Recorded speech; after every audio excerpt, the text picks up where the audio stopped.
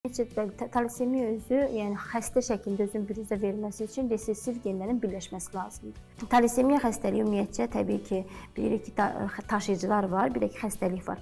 Xəstəlik şəklində nə zaman büruzə verilir özünü? Xəstəlik şəklində 2 dənə daşıyıcının, yəni 2 resessiv genin birləşməsi zamanı baş verir. Və bu zamanda təbii ki, talasemiya daşıyıcı insan evləndiyi zaman hər zaman mı xəstə uşaq doğur? Xeyr. O genlərin nə qədər denk gəlməsinə bağlıdır.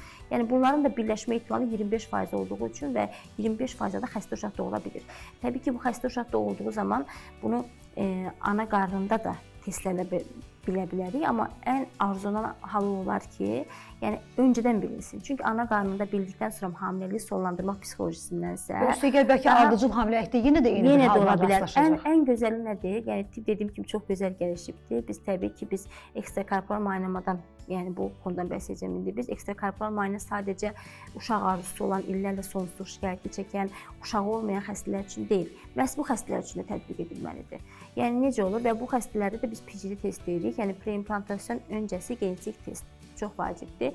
Yəni bu zaman dışarıda embriyo əmələ gəlir. Yəni yumurta ilə sperm birləşdirilir və bəlli bir boyuta, yəni bölünmə aşamasında artıq orada takib oluna bilir. Yəni sağlıqlı embriyo hansıdır və ya e, genetik boz-bozuq embriyo hansıdır və ona görə də sağlıqlı embrion transfer edirlər. Və bu sağlıqlı embriyo transfer olduğu üçün də artıq yəni bunun talasemiya xəstəliyi olma ehtimalı olmur və bu ən çox bu qan xəstəliyi daşıyan irsi xəstəliklərdə çox önərilən bir testdir.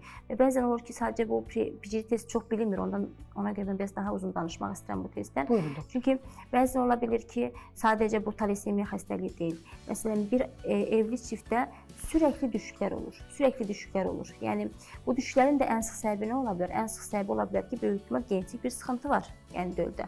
Ya bu da nəyi göstərə bilər? Yəni e, e, biz necə bu xəstədə necə eləmək olar? Bu xəstələrdə eyni şəkildə e, bu dediyimiz preimplantasyon e, genetik incələməni eləyirik və ona uyğun da sağlıqlı embrionu uşaqlığa yeridirik və bu zaman artıq yenə də bu düşüklərin qarşısını almış oluruq, həm psixoloji pozuntuların qarşısını almış oluruq və PG testi çox önərdiyimiz bir testdir.